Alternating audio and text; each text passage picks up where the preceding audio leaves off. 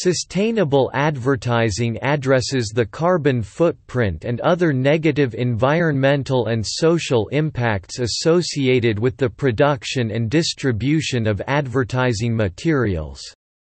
A growing number of companies are making a commitment to the reduction of their environmental impact associated with advertising production and distribution.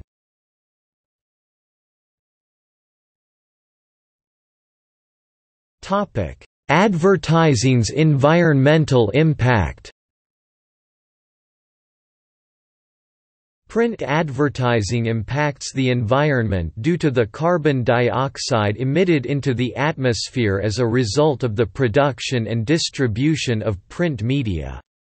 Factors include the sourcing and production of paper, petroleum-based ink, solvents, plastics and adhesives used and the fossil fuels burned in the manufacturing and distribution of newspapers and magazines.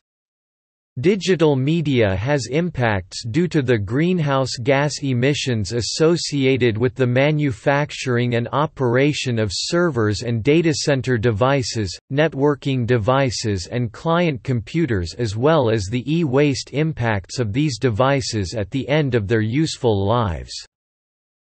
In 2004, over 7 billion metric tons of carbon dioxide equivalent greenhouse gases associated with print media advertising were emitted into the atmosphere by the United States.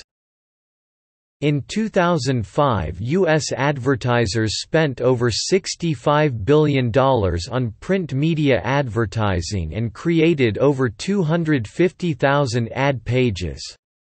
A single ad page run in a popular consumer magazine can represent as much as 7 tons of carbon dioxide emissions when supply chain factors associated with papermaking, printing, logistics and landfill disposal or incineration of post-consumer and unsold media are taken into consideration. According to a recent New York Times article quoting David J. Refkin, Director of Sustainable Development for Time Inc., a single copy of Time magazine results in the emission of 0.29 pounds of CO2 equivalent greenhouse gases. In the USA, about 25 million square meters or about 10,000 tons of non biodegradable PVC is directly attributed to outdoor billboards every single year. To put this into context this would cover the equivalent of 16 square miles or the center of most major urban cities.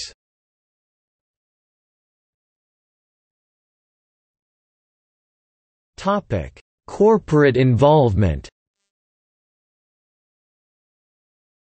Corporations such as General Electric, Timberland and Walmart are making substantial commitments to developing and marketing sustainable products and business practices. Victoria's Secret has recently agreed to reduce the impact of its catalogs by using recycled papers and stopping using paper from endangered forests. Moxie Sozo is the first graphic design and advertising agency to be carbon neutral, zero waste and powered by 100% renewable energy. However, many corporations take advantage of the sustainable issue by greenwashing their products to build a facade that the products are indeed sustainable, when in reality it is only a marketing strategy to gain better public relations. In 2006, jewelry company John Hardy began a pilot bamboo reforestation project on Nusa Penida, a small island off the coast of Bali where the company's workshops are located. The primary object is to sequester carbon dioxide by planting bamboo, a long-lived, rapidly growing woody perennial grass. In order to offset the company's advertising footprint of 451 metric tons of CO2, an area equivalent to four football fields will be planted.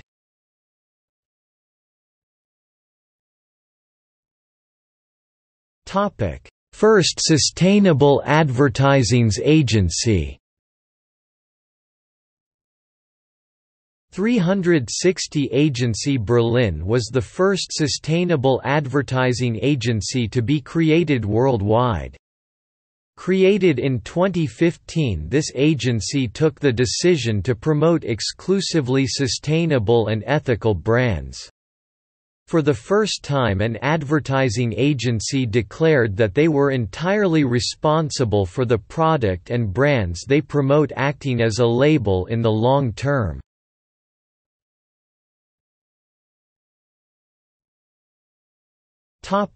See also Green marketing Institute for Sustainable Communication Sustainable packaging